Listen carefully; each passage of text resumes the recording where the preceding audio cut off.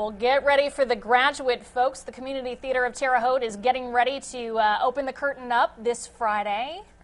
That's Sonny's right. here to tell us all about it. Tell us about it because you're the director. Yes, I am.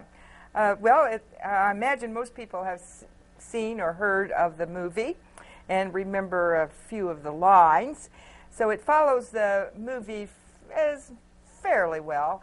Um, but uh, I think really the play is better than the movie. Okay. and um, it's uh, you know about Benjamin, a, a um, recent college graduate who uh, is uncertain about his future, so he has an affair with an older woman, an older sexy woman, and uh, then falls for her daughter, which creates all kinds of chaos. Um, it uh, there's a lot of stuff in it. It's uh, you know there's a lot of comedy, a lot of comedy, but also there's some drama. There's uh, uh, family conflict, of course. Uh huh. oh, yeah, just a little And- bit. Yeah, and uh, uh, s- some uh, pathos, um, some social commentary. 'Cause It's set in the 60s. I, I believe in 1964 is the setting. So, uh, you know, which was right after uh, a year uh, after JFK was assassinated.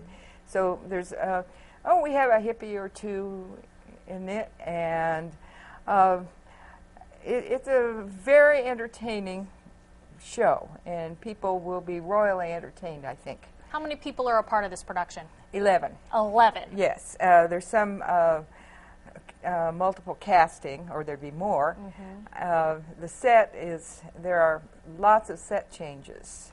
The set, the set was a, a bear.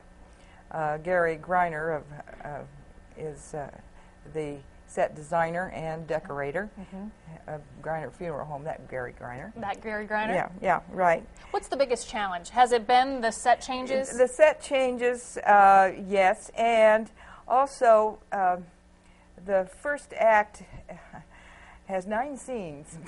Wow. so there's uh, lots of uh, uh, set changes and clothing changes and and people having to get places uh, quickly. And but I think we've done it. Uh, I was uh, last night. I was thought we have a very excellent show here. and that's good to hear. Yeah. Well, we need to talk quickly about the curtain raising up for the first time this Friday. this Friday at uh, uh, the 11th at 8 o'clock. Um, and there's always a, a reception after the, the uh, opening night. Okay.